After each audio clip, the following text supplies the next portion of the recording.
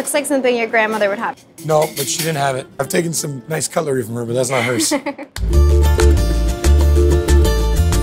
So we're here at Ariete, Miami's Coconut Grove neighborhood. As you can see, it just rained, so it's a little muggy, but we're excited to meet with Chef Michael Beltran, who's opened his restaurant early for us to give us a sneak peek into what he's cooking. Come on in. How's it going? it's going well. Yeah. So what's going on today? What are we making? We're making a little foie gras with plantains. Okay, so let's start with the foie. Let's do it.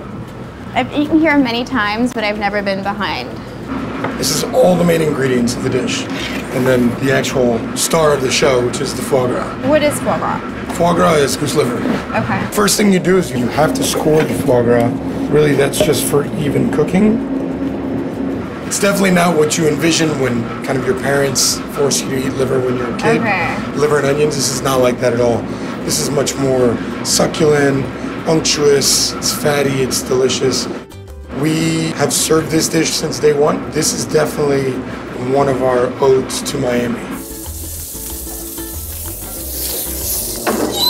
So you're finishing it off in the oven. Just for a couple of minutes because we cook a nice portion of foie gras so it's about three and a half ounces. You want to make sure that it's warm to the center. You don't want it cooked all the way to the center you want it warm. The sauce is called temptation caramel. Okay. old school cuban sauce that not many people still do.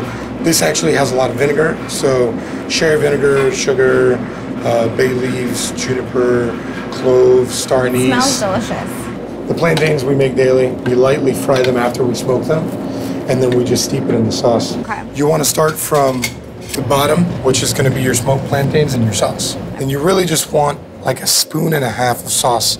Again, I don't know where I came up with that number, but it happened and I like it. like Cuban grandparent measurements. Yeah. A little bit of this and a little bit of that. yeah, that's still, and let me tell you, they make it work.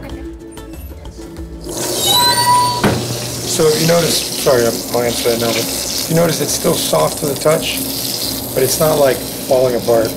Foie propped up on your plantains. This is really the bones of the dish. The sear is beautiful. Thank you. So from here, you want to season with salt, All some salt. Maldon, and the cocoa nibs. Okay? And then now you put some beautiful herbs.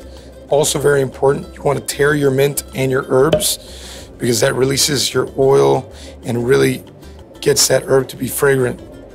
And now for the finale, Best part. a little grate of bitter chocolate on top, lime, dot, and you are done. And here is your foie gras. It's beautiful.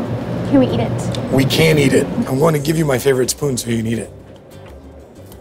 Make sure you get a little plantain Okay, and the foie bite. and a little sauce. I'll help you out here. it's teamwork. Do me a solid. Yeah. Okay. How is that? Mm. Is that good? I love the sauce. I got a really good bite of the herbs.